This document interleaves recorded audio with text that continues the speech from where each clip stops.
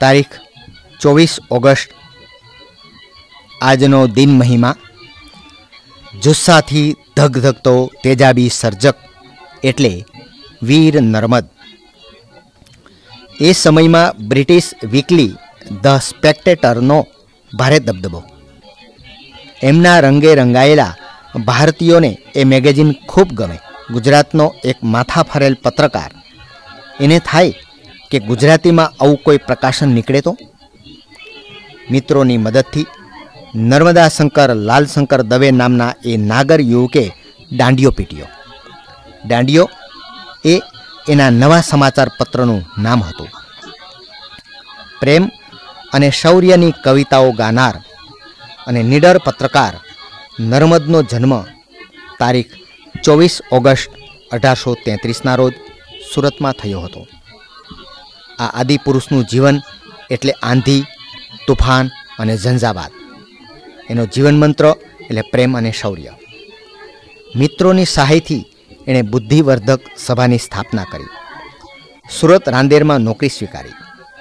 ટૂંકા ગાળામાં જ નોકરી છોડીને કલમને ખોળે જીવન વિતાવવાનો નિર્ણય કર્યો.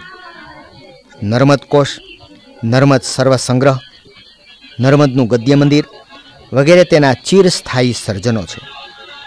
સમાજમાં ચાલતા જૂઠાણા, જુલમ અને સ્વાર્થ સામે એણે જીવનભર સંઘર્ષ કર્યો.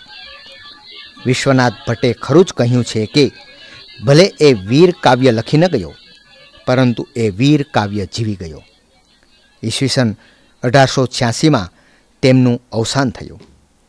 બ્રિટનના ગુજરાતી સાહિત્ય અકાદમીના જગદીશ શાહે અનેકવાર અમદાવાદ આવી વીર નર્મદના જીવન કાર્ય પર નાટક રજૂ કરી હુબહુ અભિનય આપી. સતત ત્રણ કલાક નર્મદ બની.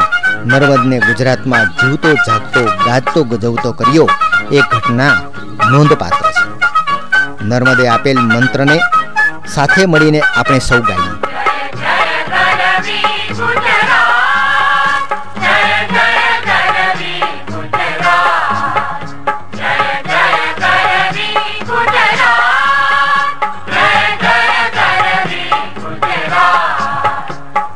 Pera Lulu